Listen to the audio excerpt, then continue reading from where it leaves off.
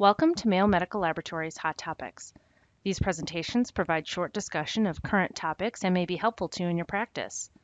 Today our topic is an update on the influenza virus, the need for preventative measures such as the flu vaccine, and available laboratory testing for detection of the virus. Our speaker for this program is Dr. Matt Binnicker, Director of the Clinical Virology Laboratory in the Division of Clinical Microbiology at Mayo Clinic in Rochester, Minnesota. Dr. Binnicker, thank you for presenting with us today. Thanks for the introduction and thanks for joining me for this update on influenza. Before we begin, I want to mention that there are no financial or corporate conflicts of interest associated with this presentation that I need to disclose.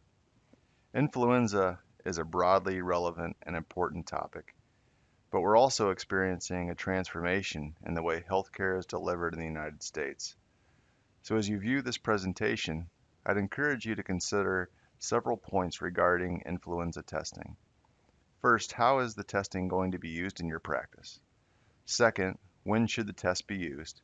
And finally, how will the results of these tests impact patient management? With that, let's get started. Influenza is one of the most significant viral pathogens worldwide. And before we discuss the clinical impact this virus has, let's first review some background information. Influenza is an orthomyxovirus that has a single-stranded RNA genome. It is an envelope virus, meaning that the outside layer of the virus is composed of lipids and proteins that are derived from the host cell. There are three main types of influenza virus. Influenza A, which is the type that we're most familiar with and causes the most clinically significant disease. Influenza B, which is also a human pathogen but typically causes less severe disease. And finally, influenza C, which is a much less common cause of disease in humans. These viruses can infect both birds and mammals, and in temperate regions tend to be associated with a seasonal pattern of disease outbreaks. As you can see in this figure from the Centers for Disease Control, Influenza A activity typically peaks in December or January each year in the United States and returns to baseline levels by early spring. In terms of transmission, influenza viruses are spread through respiratory droplets, for example through sneezing or coughing. Alternatively, influenza can also be spread by coming in contact with contaminated objects, such as touching a contaminated door handle or tissue and then touching your eyes, nose, or mouth. As I mentioned earlier in the presentation, influenza is one of the most significant viral pathogens worldwide, with the World Health Organization estimating that influenza A infects tens of millions of individuals annually and causes between 250,000 and 500,000 deaths per year around the globe.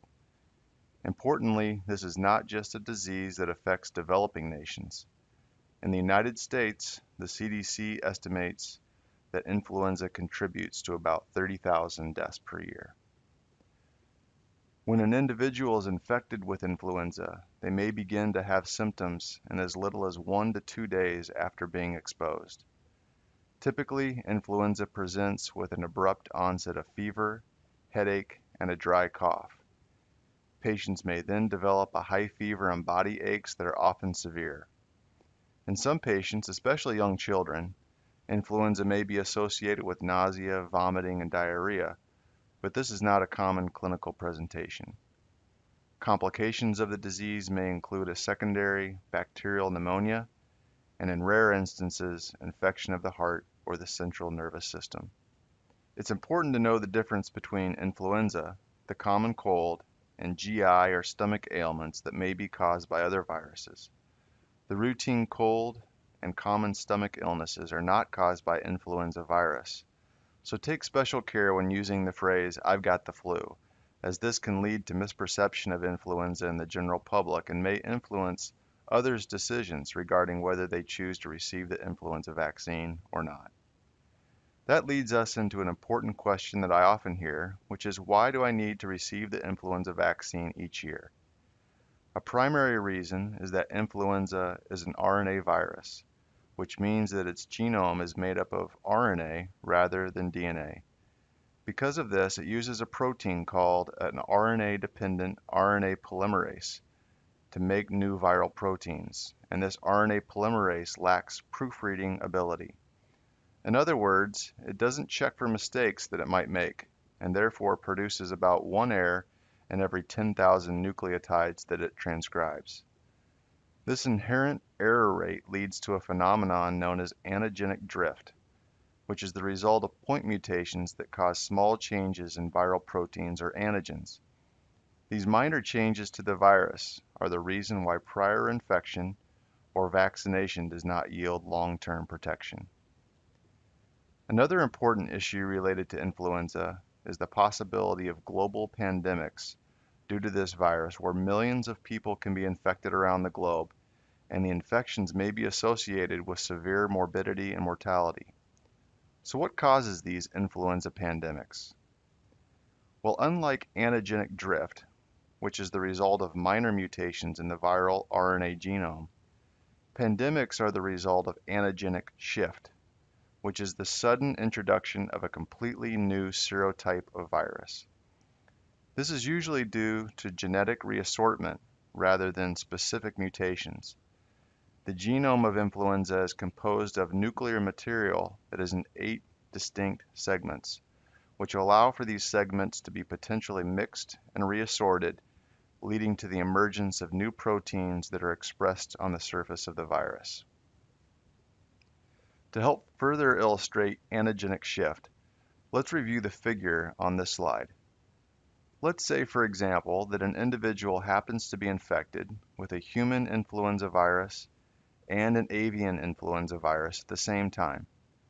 This might occur if the individual is visiting a large poultry market, where both birds and humans are in close proximity. Fortunately, a co-infection with two different influenza viruses is believed to be a rare event, but if this would occur and both viruses happen to infect the same cell, there is the possibility that the segmented RNA genomes of both viruses might mix, leading to the generation of completely new viral proteins and a novel virus that has characteristics of both the avian and human virus. This hybrid virus may be one that humans have not been exposed to previously and therefore would not have any pre-existing immunity to. Now let's turn our discussion to the laboratory diagnosis of influenza. It's important to point out that viral shedding may begin even before an individual develops symptoms, but the amount of virus that's being shed is maximal in the first two to three days after symptom onset. When a patient presents with suspected influenza, the recommended specimens to collect include a nasopharyngeal swab, which is typically considered the gold standard sample type for detection of influenza. Alternatively, a nasal swab or throat swab can be collected for influenza testing. And if a patient is suffering from lower respiratory illness that may be due to influenza, a sample type such as bronchoalveolar lavage fluid can be collected and tested. Historically, samples collected from patients with possible influenza infection have been submitted for routine viral culture, which is a sensitive approach but may take two to five days to become positive. Viral culture requires laboratory technologists to perform certain tests, including hemadsorption or hemagglutination, which help to support the identification of the virus as influenza. Recently, molecular detection of influenza virus, for example using real-time PCR, has become the recommended approach for the rapid diagnosis of influenza. This approach yields excellent sensitivity and specificity and typically allows for results to be reported within hours of the laboratory receiving the specimen for testing. Molecular testing can be performed off a variety of sample types, including NP swabs, throat or nasal swabs, NP aspirates, bronchial washings, or BAL fluid.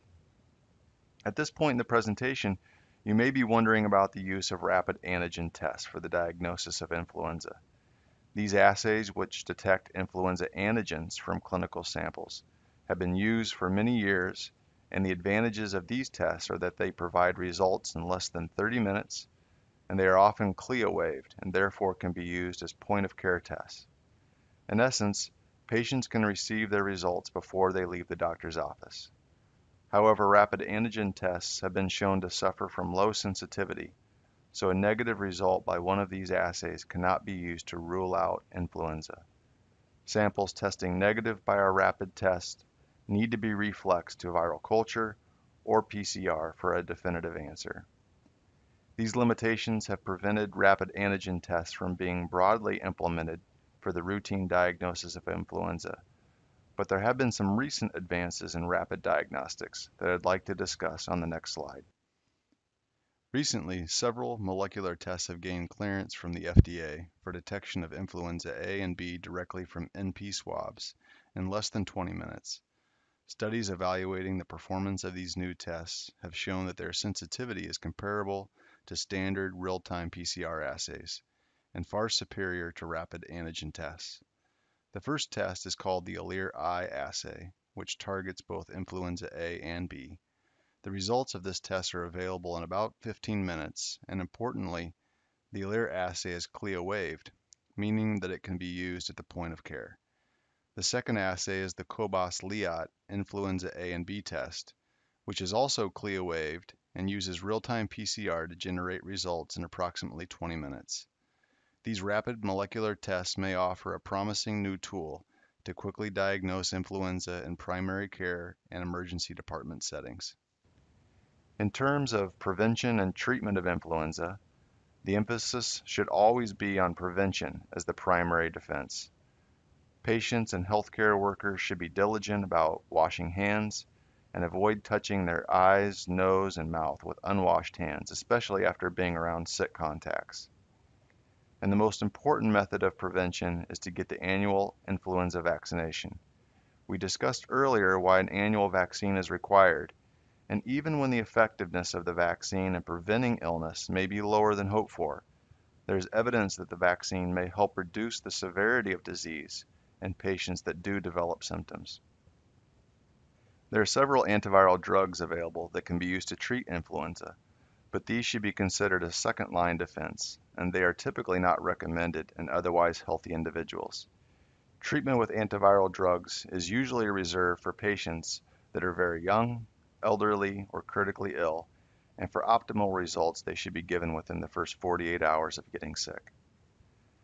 In summary, influenza is a significant cause of disease worldwide, resulting in hundreds of thousands of deaths each year.